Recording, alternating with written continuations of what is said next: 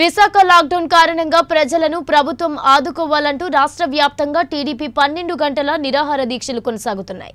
దానిలో భాగంగా గాజువాక మాజీ ఎమ్మెల్యే పల్లా శ్రీనివాసరావు పార్టీ కార్యాలయంలో పన్నెండు గంటల నిరాహార దీక్షను చేపట్టారు.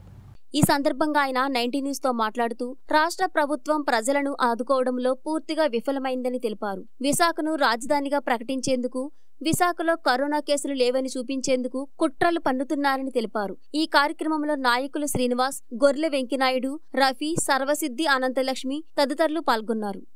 పార్టీ జాతీయ అధ్యక్షులైనటువంటి శ్రీ నారా చంద్రబాబు నాయుడు గారు ఇచ్చినటువంటి పిలుపు మేరకు ఈరోజు పన్నెండు గంటల దీక్షా కార్యక్రమాన్ని మా పార్టీ ఆ, స్టార్ట్ చేసాం ఈ కార్యక్రమం ఒక ముఖ్య ఉద్దేశం. మరి ప్రతి పేద కుటుంబానికి ఐదు వేల రూపాయలు ప్రభుత్వం ఇవ్వాలని చెప్పేసి మేము డిమాండ్ చేస్తూ ఈరోజు మేము ఇక్కడ ధర్నా చేస్తున్నాం. మరి హుదూద్ టైంలో ఈ మధ్యన కూడా క్లిప్పింగ్ వచ్చింది. జగన్ గారు హుదూద్ టైంలో విశాఖపట్నం పర్యటిస్తూ మరి సుమారు వారం రోజులుగా ఇక్కడ లేని లేనటువంటి పరిస్థితిలో ఐదు వేల రూపాయలు ఇవ్వాలని వారే డిమాండ్ చేశారు.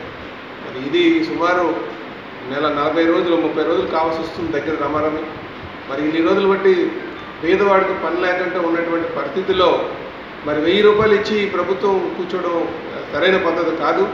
అందుకనే మేము ప్రతి పేద కుటుంబానికి ఐదు వేల రూపాయలు ఇవ్వాలని డిమాండ్తో ఈరోజు మేము ఇక్కడ పన్నెండు గంటల ఒక దీక్ష మేము చేస్తున్నామని చెప్పి తెలియజేస్తున్నాం.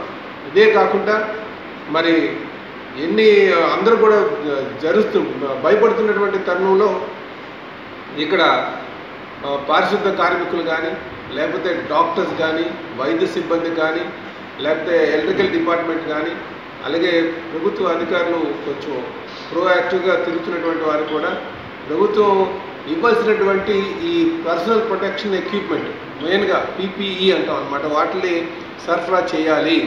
ఎందుకంటే చాలామంది డాక్టర్స్కి ఈ హెల్త్ వర్కర్స్కి ఈ వైరస్ కరోనా వైరస్ బారిన పడుతున్నారు.